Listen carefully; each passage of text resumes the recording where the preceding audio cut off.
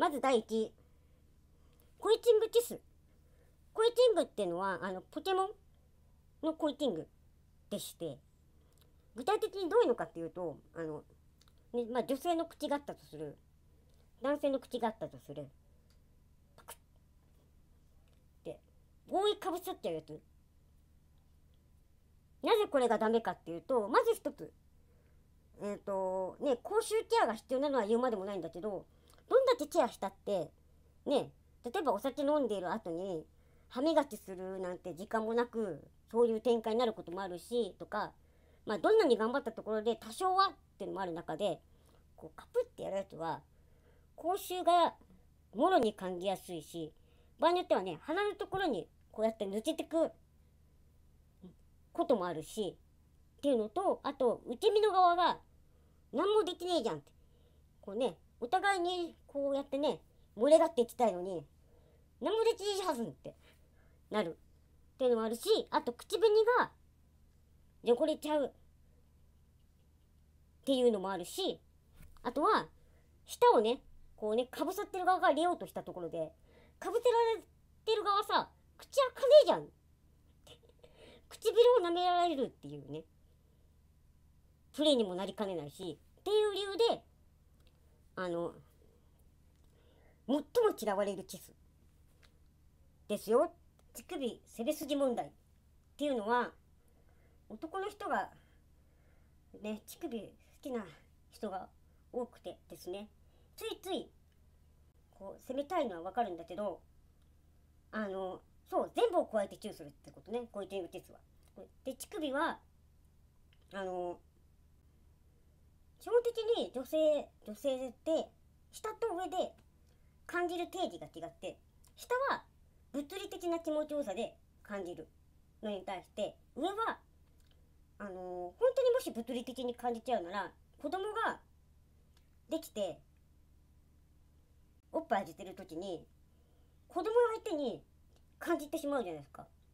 まあ多少は感じちゃうことはあったとしてもガチで感じたらね育児なんてできないわけでじゃあどういう仕組みかっていうと気持ちで普段隠してる恥ずかしいとこを見せちゃってるとかこうここに対して興味を持ってる相手がいるこういういじり方をされているとか。で純粋に物理的な事実を繰り返して感度が高まっていくっていう基準があるんであの例えば最初は周りから責められたり揉まれるとかやってたりで乳輪をいじられるとかっていうステップがあって精神的にそう精神的に感じる場所だからステップが必要。なのに対して、えーここをずっといじられてるとあのイライラしてくるというか いやそんな気持ちよくねえよってなるし大概の男の人はいじりすぎだししかもいきなりそこにたどり着いたりするしっていう問題がありまして。で人によっては純粋に敏感だからヒリヒリしてくるとか。っていうね。本当にただの被害にもなりかねないので乳首は攻めすぎてはいきません。あの触りたいのはわかるけどいじりたいのはわかるけど女の人だって別に乳首をいじられるのが嫌なわけではない。むしろ好きな人もいっぱいいるんだけどただステップを踏んで時々他のところに行ったり戻ってきたりいじり方を変えたりっていう変化をしてもらいまししましょう。3セメント受けの同時プレイ。あなたの作品好き明日に残る痛みは嫌。ありがとうございます。とそのまあ上の話にも微妙に関連するんだけど女性の場合はその感情とかストーリーとかっていうところでね徐々に高ぶって気持ちよくなるのであの要は例えば自分が手とか口を使ってね気持ちよくさせてあげてる時に向こうにいじられると気持ちよくさせるっていうところに感情を入れて相手が感じてくれるっていうのは嬉しいと思ってるのに自分を感じようさせようとされると混乱しちゃうし逆に自分が気持ちよくされてる時に相手を気持ちよくもさせようっていうまで頭が回らない。相手を気持ちよくさせようと思った瞬間自分が気持ちよくなろうっていうな理想っていうのが離れていっちゃう。っていうのがあるから分かりやすい例がロックは男の人は好きな人が多いけど女性で好きな人あんまりいない。やってみたいって人はもちろんいるよ。でもいざやってみるとっていう人が多いしそれこそさっきの乳首の話であのちゃんとあちゃんとでかいと自分が男性に対して気持ちよく行為をしてるのにあのね男はこう口でやってもらってるのに頑張ってこうね乳首をいじろうとする人が結構いるらしいんですけどそれがまさに邪魔？いや集中できない。そう好きじゃない。なんでわかるの？なんでだろう？内調をつけるで誤解しないでほしいのは別にチューしちゃダメとか口で下半身を責めるのがダメって言ってるわけではなくて、えー、こう指につけて指で触る下をっていうプレイが非常に嫌われます。理由としてはまずまあ口の中は細菌が多いっていう意味で病気打ちにするっていうものがあるのとまあね口のやつはね汚いとか臭いみたいなイメージがある中であのそれを手につけてこう塗りつける感じが心情的に嫌だ。っていうのもあるしあとはくすぐったいっていう意見もあるしあとはあのー、ね男の人の心理状況をまあ女性の方がコミュニケーション能力が高い人が多いんで男の心理を読み取る時にあの手で口で雑に濡らしたことによって前事をしなくてもいいんだろうとかこれで濡れたよね次に行っていいかとかっていう心理を読み取ってしまうのがまあ女性としてはね雑に扱われててすごく悲しいというのもあるしとかねいろいろと男性が下手で濡れないのにそう男性が下手で濡れないのに唾で濡らして早く入れようとする人いっぱいいるんですよ。ねでえっとあフォローありがとうございます。T さん、さっちゃんさん、ポンポンありがとうございます。っていうのがありますね。ただ、あの、男と女ですごく難しいなって思うのは、男性は第一つけられるの好きな人多いんですよね。っていうのも、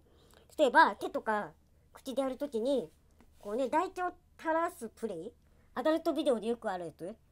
あれマジで好きな人多くて。うーん、不思議だね。不思議だねとしか言えないんだけどね。可愛い抱きたい。あ、お気持ちありがとうございます。あー、これ単なる、ごめんなさい。これ気になるか。この服そろそろ捨てた方がいいかな。単純にあの、ボロボロだから部屋着にしてるだけです。耳をペロペロね。うん、あの、僕、それ、正直言うと撮影の時にやっちゃって、後から、後からね、知識を積み重ねていって、あ、それダメだったんだって反省しました。耳をペロペロしてしまったことは僕さ舌がめっちゃ細いからさむちゃくちゃ奥まで届いちゃったんですよね。あの僕の AV のプレイの中で最大の恥失敗は耳の中に舌が届いてしまった。あの毛とかカスががっつり感じるほど中まで入ってしまってあれは申し訳ないと思ってます。ごめんなさい。わらわらわらって言った。あれは申し訳ないと思ってます。笑った。笑ってもらえたならよかった。対話をしないっていうのはあの、ね、さっきさまあねこの話を今3週目かな？させてもらってるんですけど対話をしないでさっきコメントにあって「ちげえよ」って突っ込めたくなった勘違いは、あ、対話をしないなら話しちゃいけないんだっていうコメントがあったんだけど、そうではなくて、対話をしないっていうのは、例えば、会話、コミュニケーションは言葉、ね、言葉と言葉で、こう、お互いにね、やり取りをしてって、言葉のキャッチボールをして進んでいくじゃないですか。あのー、性的なプレイも体のコミュニケーションが積み重なっていくわけですよ。なのにえ一方的なのがダメだよと。で例えばそうだねなめなめさせるのになめなめしない男いらない。そう。それも対話だよね。あのこれをしたからこれで返す。これで返されたからこっちを返すっていうのがあってどんどん盛り上がっていくのに。一方的にねこれでみたいな。のは良くないよねと。ポンポンもありがとうございます。でえーっとねその対話をしないの分かりやすい例が言った気持ちいいっていう質問あるじゃないですか。結構な男の人が言ってるらしいんだけどまあ僕男の人とプリはしたことないけどよく男の人に言われるっていう言葉として「言った気持ちいい?」みたいな質問をしてくる人がいるんだけどその裏に男のどういうダメな心理が隠れてるかっていうとねあの俺アダルトビデオでこういうプレイをしてめっちゃ女優が感じてんのを見て真似して頑張ってみたんだけど俺うまい？どう？気持ちいい？気持ちいいでしょ？っていう押し付けなんだよね。さっき言われた。リアルタイムだった。押し付けなんだよね。あの押し付けてる時点で会話じゃねえだろ対話じゃねえだろって。なるわけですよ。あの単なる自己主張の確認でしかない。本当に相手に気持ちよくなってもらいたいお互いに感じ合いたいと思ってんならこれ痛くないとかどうするのが一番気持ちいいのかなっていうあのちゃんと答えが返ってくる質問をするはずなのにあのー多くの男性はイエスと言ってくれるよね。イエスと言ってよっていう。押し付けをする。そうだからふりしてあげる。そう。女優女優じゃない。女性が演技をするみたいな話があるのは演技するしかねえぐらいに強引な人が多いからまあね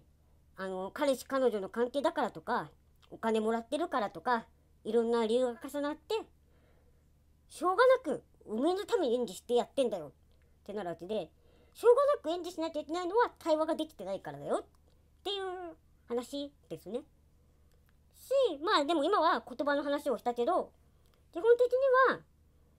あのできれば言葉を交わさなくても動きで分かってあげるべき。であの例えば気持ちいいって言ったりあんって言ったり手を震わせたりは簡単に演技できるけど本当に気持ちいい時って体がプルってなったりとか太ももとかね手先が軽い痙攣？痙攣っていうと大げさだけどみたいな行為がするのを見逃さないようにちゃんと手を握ってあげるとかあとね目は口ほどに物を言う。目は嘘をつけないって言うけどちゃんとね相手と目と目でやったりとかっていう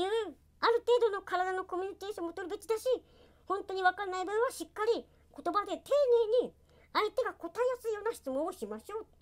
ていう話ですね。下地に対して敬意がないっていうのはあのまあね僕も男なんで女性を下着正直詳しくはないんですけど男性の下着と女性の下着って価値が桁違いなんですよね。あのし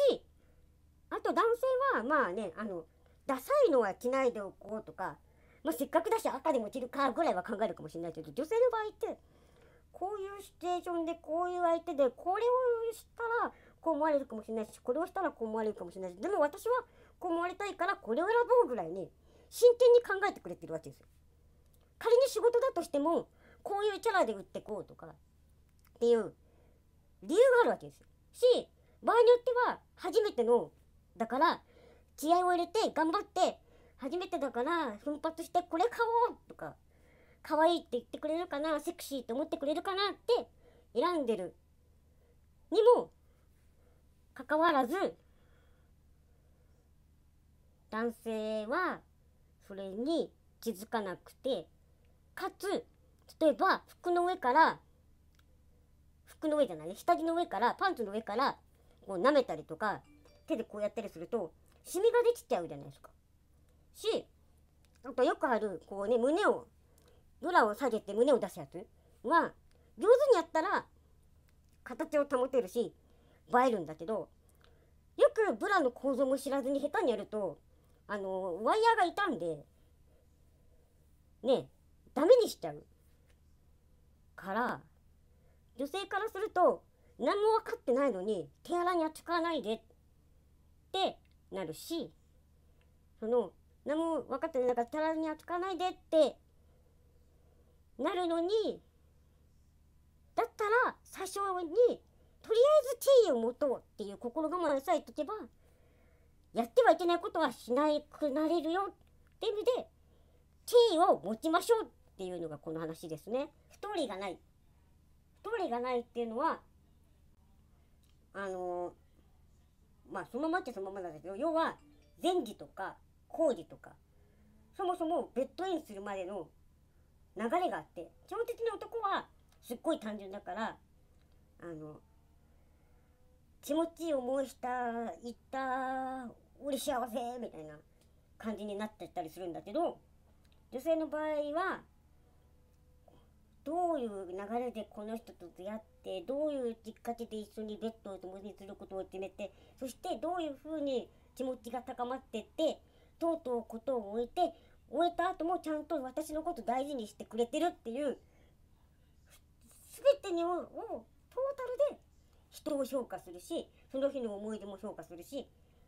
自分の中に残ってくるのであのストーリーを一緒に作ろうとか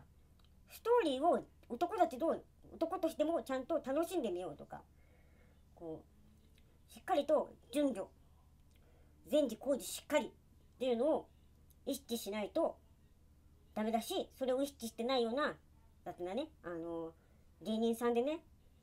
多目的トイレでひどいみたいなねあったけどあれこそまさに効率主義者じゃないですか。別にあの人の悪口を言いたいわけじゃないむしろあの人好きだったんだけど効率主義じゃなくストーリーが大事ですよと。あのエロっていうのは発射した終了じゃないんだよという。場合によっては女性の場合はなかなか生きにくい人もいるしもしくはそういうにこだわってない人もいる。あの添い寝で満足する人とかもう全然ある。それはなぜかというとストーリーで幸せを感じてるからなんですよってことを覚えておくといいですよって感じですね。